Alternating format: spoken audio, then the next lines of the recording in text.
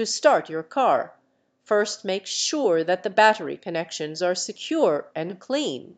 If they are, turn the key in the ignition to the on position, listen for any sounds coming from the engine, like clicking or buzzing. If you hear these sounds it could indicate a problem with the starter or ignition switch. If there are no sounds, check if your car has fuel by looking at the fuel gauge. If the gauge shows an empty tank, you may need to refuel your car.